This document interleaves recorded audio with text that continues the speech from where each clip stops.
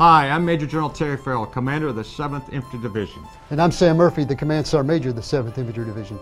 On behalf of members of this command, we'd like to wish all soldiers and family and friends a safe and merry holiday season, and we wish you best wishes as you go through.